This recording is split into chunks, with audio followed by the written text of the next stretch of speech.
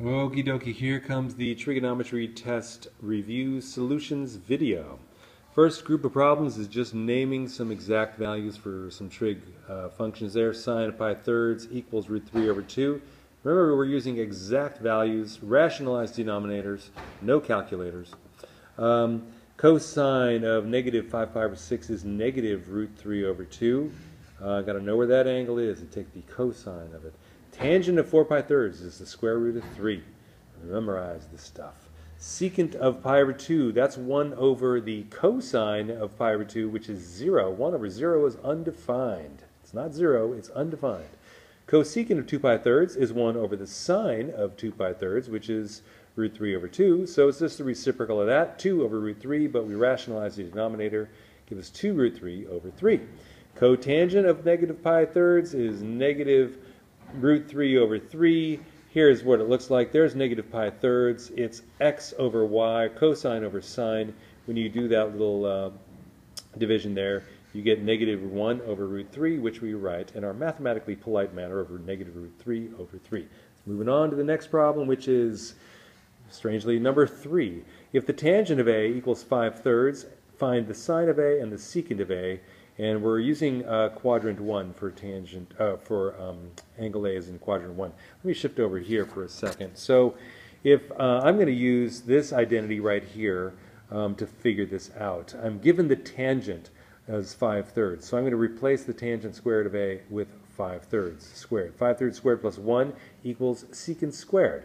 That's what it looks like. So that's 25 over 9. 1 is 9 over 9, so that gives me 34 over 9. That's the secant squared, so I take the square root, and I get square root of 34 over 3 equals the secant of a.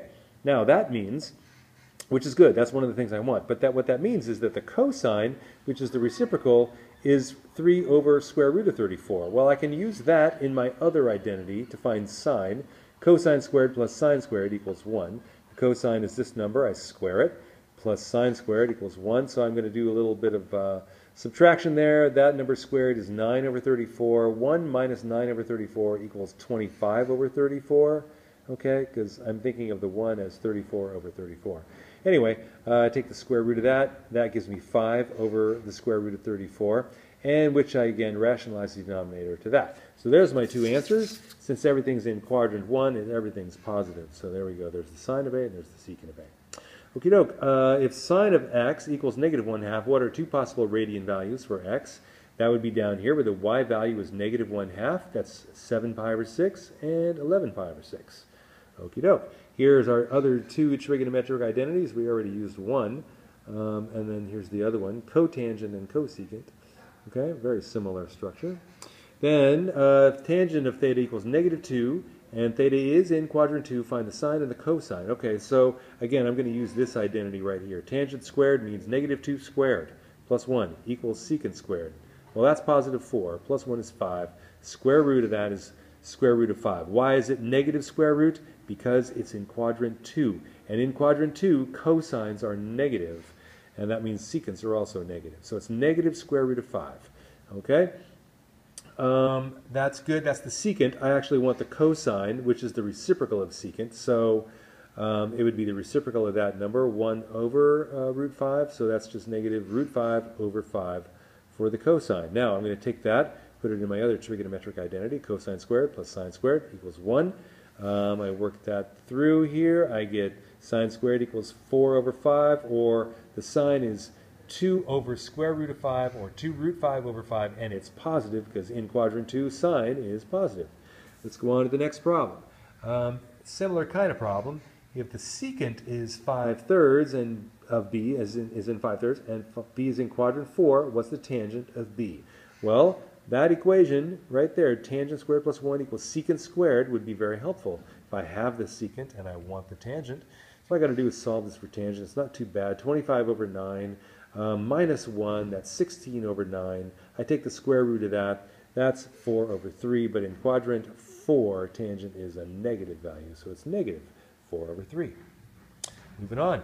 Uh, the two graphs here, right, two different functions. Okay, so for each, so in this first graph, I see my amplitude is the y value there from 2 down to negative 2, so the amplitude is 2. Um, my uh, I have no vertical shift or horizontal shift. It starts at 0, 0, going up, that means positive sine. But my period is 4. If that maximum happens at 1, then the next uh, point right there, that's, that's one-fourth of the cycle. So that means the cycle is 4 units long. The period is 4. That means k is 2 pi over 4, or pi over 2. So my equation for sine is 2 times sine of pi over 2 times x. Now, if I want to write a cosine equation for the same curve, everything stays the same except my horizontal shift. Uh, now I'm going to pick that point as the beginning of one cycle. For sine, the beginning is right there on the midline going up. But for cosine, it's the maximum point. So the x value of that maximum point is positive 1. So that's my horizontal shift. But the amplitude and this k value stay exactly the same. Okay, so there's the cosine equation. A little bit trickier one here for part B. Um, same basic idea though. My, um, if I look at this, the amplitude is 1 half and the period is actually 1. From negative 1 third to positive 2 thirds, that's a total distance of 1. So that's the period. And then the, the k value is 2 pi over the period, or just 2 pi. Um, I'm starting over here at negative um, 1 third. So that's my, for a sine value, that's the beginning of one cycle, that b equals negative 1 third. So I put all of that into the equation. 1 half for the amplitude, sine, and then it's 2 pi times x minus negative 1 third. That is plus 1 third right there, x plus 1 third. I hope you can see that. The cosine equation will use the x coordinate of that point, which is a little bit tricky, and just to spare us a little bit of time, I figured out that that, is negative 1 twelfth. The period is 1, so all I did was take um, a fourth of 1, which is 1 fourth, and add it to negative one third. So one, negative one third plus one fourth gives me negative one twelfth. That's my um, locator or my beginning of one cycle for cosine, but everything else, amplitude, k, and everything stayed the same. So there's my cosine equation. We're going to flip it over now.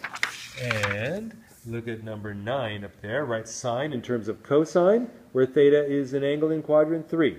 Well, there's my equation. Sine squared plus cosine squared equals 1. All I'm doing basically is solving that for sine. I'm writing sine in terms of cosine. So sine squared equals 1 minus cosine squared. I take the square root.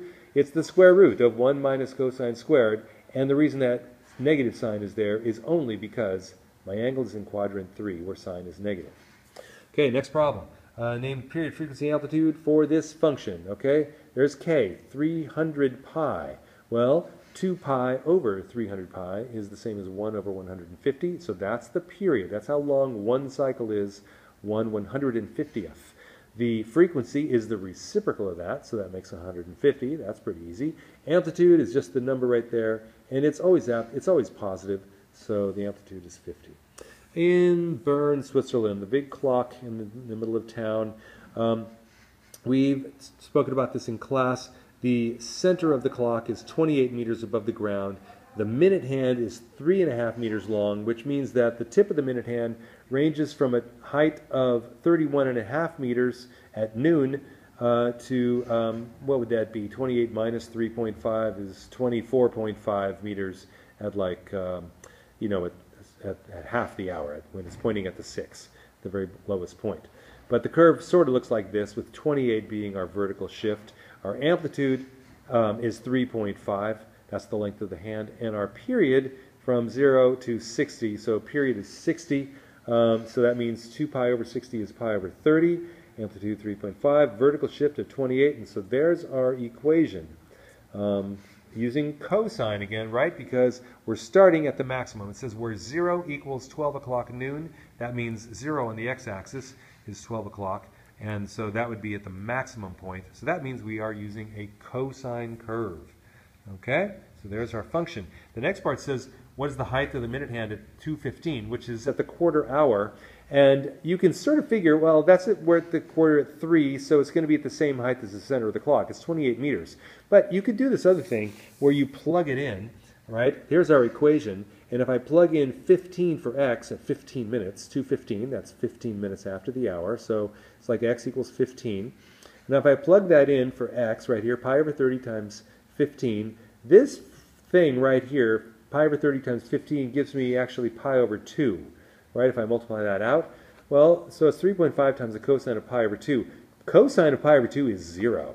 So that's 3.5 times 0, which of course is 0, which and then this 28 is just kind of sitting there, and that's all you got left. So yeah, it's 28 meters above the ground at 215. Graphing one cycle here, this is what your graph should look like for number 12, the first part. Okay, it's got a vertical shift of 2. Um, it's a negative sign, so it has this kind of a shape right here. Um, the period is pi, and so here's your uh, length of one cycle with your x-axis scaled appropriately. Goes up to a maximum of 5 and down to a minimum of negative 1.